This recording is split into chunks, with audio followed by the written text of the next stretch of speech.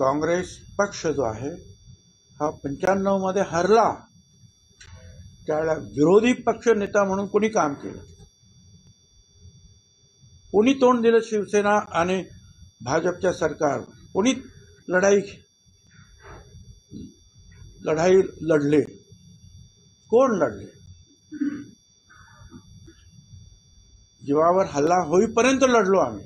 छगन भुजबळ.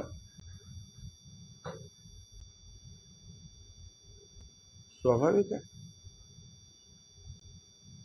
निवडणूक न नव्याण्णव दोन हजार झाल्यानंतर जर काँग्रेस पक्षातून पवारसाहेब बाहेर निघाले नसते तर मीच मुख्यमंत्री झालो असतो काँग्रेसचा सुद्धा.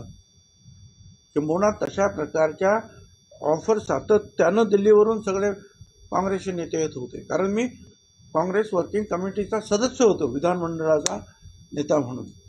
तुम्ही जाऊ नका. त्याच्यामध्ये पायलट होते वारले ते. माधवराव शिंदे होते. सलमाडी आहे. तिथे ऑस्कर फर्नांडिस गेले शिला दीक्षितजी गेला.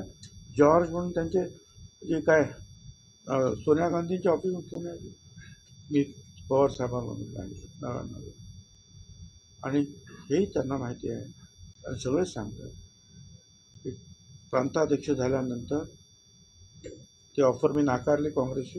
त्यांच्याबरोबर प्रांताध्यक्ष झाल्यानंतर पूर्णपणे पार्टीची स्थापना सुद्धा झालेली नव्हती. पवार साहेब एकीकडे आणि मी एकीकडे.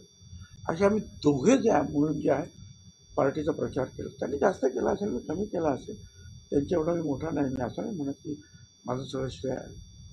पण बरोबरीनं लढलो आम्ही. आणि त्याच्यानंतर अर्थातच परत काँग्रेसबरोबर सरकार स्थापन करण्याची निर्णय झाला. कुणाचं नाव घेतलं नाही. माझं नाव आपोआपच आलं.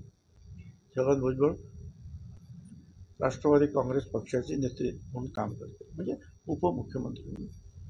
त्याच्यानंतर सुद्धा सातत्यानं आपण पाहिलं असेल. आणि आता सुद्धा चौदा नंतर सुद्धा पाहिलं असेल आपण. कोण भाजपवर आणि इतरांवर जे आहे सडेतोड टीका करत होते. हे जे काय माझ्यावर बोलतात ना काल काय बोलले? तो नेते. ते कधी पहा? गोल गोल गोल गोल गोल गोल. छगन भुजबळ गोल गोल बोलत नव्हता सरळ अटॅक करत होता. काय करणार बाळासाहेब ठाकरेंची शिकवत अंगावर जाण्याची राहत हिला मी आणलं. त्याचे भोगही भोगले. यांनी नाही केलं. यांच्यासारखी गपचूप जप जाऊन भेटत नव्हतो मी. की मला हे खातं ठेवा.